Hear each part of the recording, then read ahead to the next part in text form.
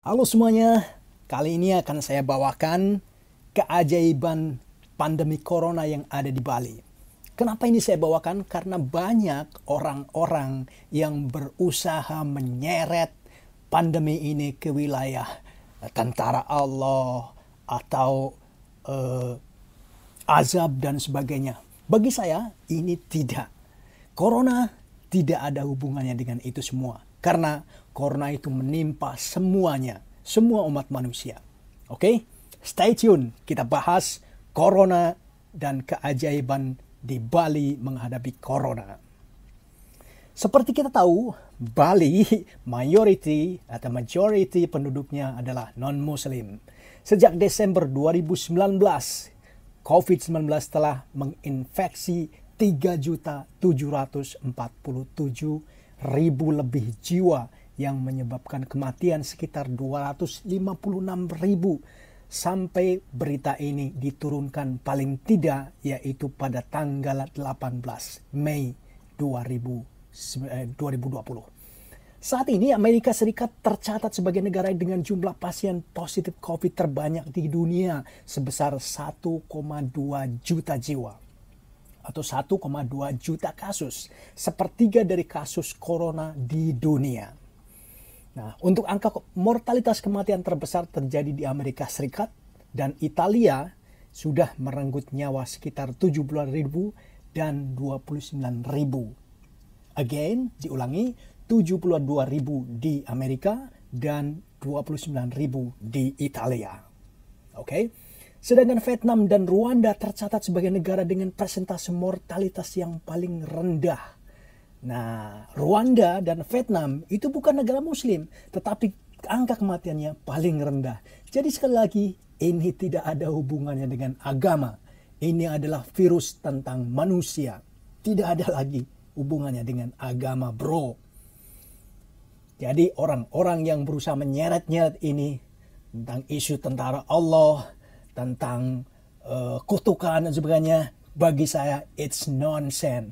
Kalian itu memancing di air keruh. Oke, Indonesia merupakan salah satu negara dengan persentase mortalitas tertinggi di dunia yaitu 7,1 persen setelah sempat mencapai 9,3 persen. Persentase kesembuhan Indonesia berada di kisaran 18,6 persen. DKI Jakarta merupakan provinsi yang paling terdampak dengan jumlah positif COVID-19 47.700 kasus dengan kematian 420 kasus dan kesembuhannya 713 kasus. Nah, kita bahas corona di Bali. Hingga 6 Mei 2020 tercatat sebanyak 277 kasus positif corona ditemukan di Provinsi Bali. Angka mortalitas sebanyak 4 kasus, sebanyak 166 pasien telah dinyatakan sembuh. Dengan demikian, presentasi kesembuhan Provinsi Bali sebanyak 59,9 persen. Kita bulatkan menjadi 60 persen. Kini melebihi presentasi kesembuhan rata-rata nasional 18,6 persen. Bali secara luar biasa mempunyai presentasi kesembuhan tertinggi dan presentasi mortalitas terendah di Indonesia sampai saat ini. Sejak pemerintah melaporkan dua kasus pertama di Depok pada 2 Maret 2020, pemerintah Bali meliputi pemerintah provinsi, kabupaten, dan jajarannya langsung tancap gas sejak hari pertama.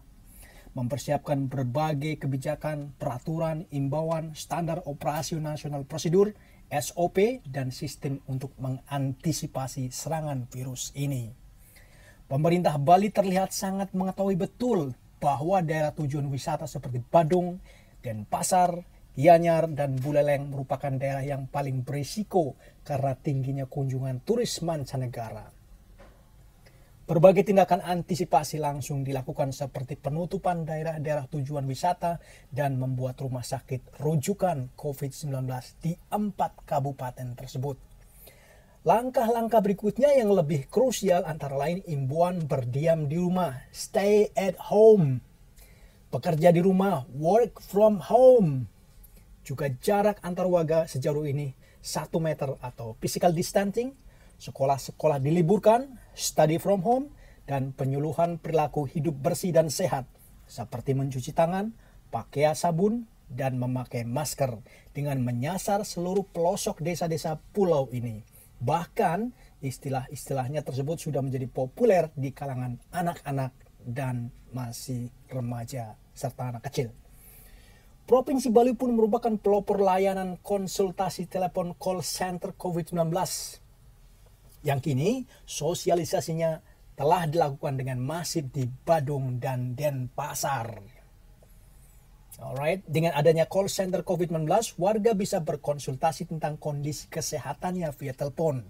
Operator call center COVID-19 akan melakukan screening keluhan untuk memutuskan apakah seseorang merupakan orang dalam pemantauan ODP, pasien dan pengawasan PDP, atau bukan keduanya.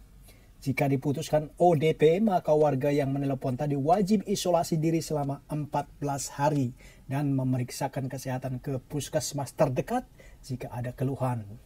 Jika diputuskan PDP, maka akan dilanjutkan dengan layanan penjemputan PDP oleh ambulans tim reaksi cepat COVID-19.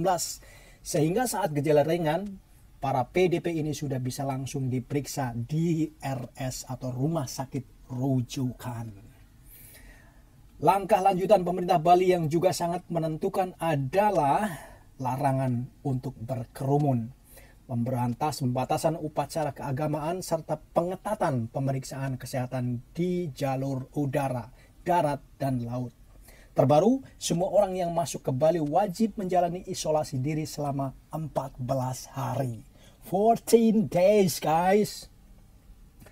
Segala kebijakan tersebut benar-benar mengandalkan sinergitas dan koordinasi antara pemerintah provinsi, pemerintah daerah, hingga kepala dusun beserta tokoh masyarakat dalam penerapannya di lapangan. Di samping itu semua, tentunya apresiasi perlu diberikan kepada semua dokter, perawat, dan para medis karena telah memberikan layanan promotif, preventif, kualitatif, dan bahkan rehabilitatif dengan kualitas sangat tinggi Hal itu tercemin dari tingginya presentasi kesembuhan dan rendahnya presentasi mortalitas di provinsi ini. Oke okay guys, sekali lagi, ini bukan tentara Allah, ini bukan kutukan, bukan. ini adalah tragedi kemanusiaan. Mari kita hadapi corona ini dengan bijaksana.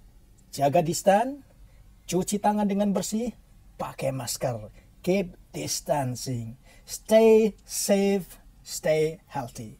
Thank you very much. Terima kasih sudah menonton video ini. Bye-bye.